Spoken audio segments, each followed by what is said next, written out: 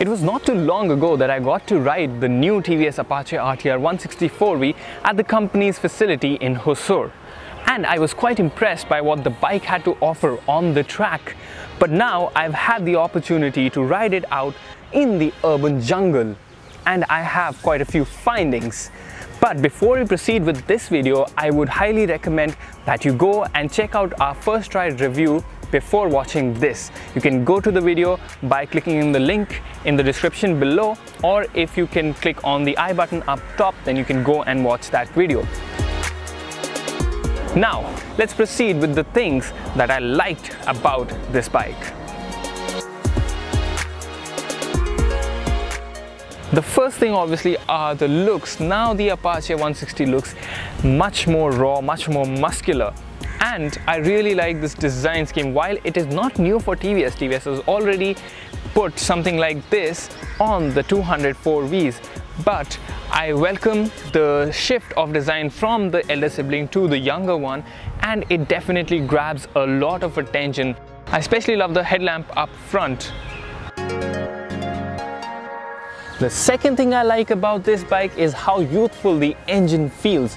Now, if you've seen our first ride review, you would know that I enjoyed the carbureted engine more than the fuel injected one. It just felt more lively, even if by just that much and in the city also this is quite fun to ride. It is just raring to go. It's actually a bit hard to keep it in control because the moment you let go of the throttle even just a tiny bit it just wants to go and fly. Cruising at speed of 100 kilometers an hour is also quite easy given that you find such a road.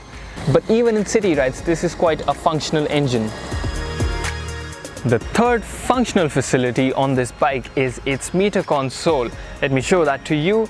As you can see, this is a completely digital unit, again borrowed from the 200 and it gets a bunch of helpful information. So you get to see your speed, you get to see how much fuel you have left, it shows you the time, it has an RPM gauge, you have an odometer. And you also get two trip meters and then you can record your top speed you can record your best 0 to 60 time on this and you have a lot of helpful indicators right here as well. It also has a handy shift indicator in here.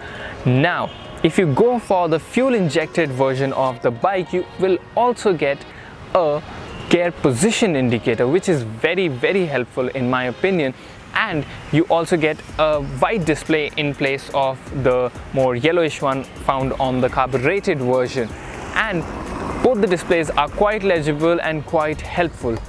I really really liked the turn indicator and the horn and let me tell you why. The turn indicator switch can be flicked quite easily and effortlessly. While this might not be a big thing, you do appreciate that in everyday traffic. And then you have the nice horn. Now while I do not endorse honking unnecessarily, this horn can be helpful in places where people just won't budge and it will make your presence felt. Don't believe me? Have a listen yourself. Moving along the list, we have the nice and grippy 17 inch tubeless tires. So the front is a 90 by 90 while the rear is a 130 by 70. These tires provided a very good grip on the track and it is a hassle-free ride through the city you get plenty of grip and today it was raining in the morning and I had absolutely no issue riding through the slippery wet tarmac now referencing my first ride video once again, I was a little worried about the suspension setup as it is a bit stiff and I was worried if it would fare well in the city. Thankfully, it does manage to gobble the smaller potholes, cracks in the roads and speed breakers quite nicely. Much better than some of the competition and I was delightfully surprised with that fact. You get a telescopic fork up front and a monoshock.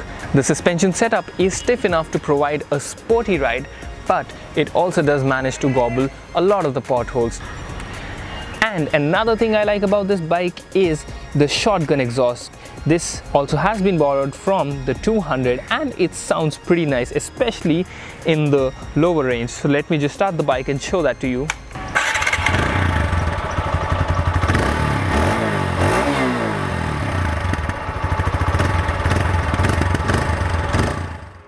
Last but in no way the least is the price at which the Apache is being offered. Now you pay about 85,000 rupees ex-showroom Delhi and that is for the carbureted with disc brake variant. The EFI obviously costs a little more about 4 to 5,000 rupees more than this and there is also a drum brake variant which costs 80,000 roughly ex-showroom once again. Now this is a really really tempting price for the package that TVS is offering and puts the competition in quite a tight spot.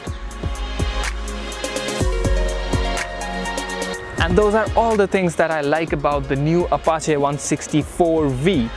Now, before you go out and say that I only listed the good points, there is a separate video about the things I did not like about this bike. So, you can go ahead and check that video out by clicking once again the I button up top or following the link in the description. I'll see you there. If you have anything to ask from me, from the team, then you can always comment, follow our channel and also like this video. Until the next time, bye-bye.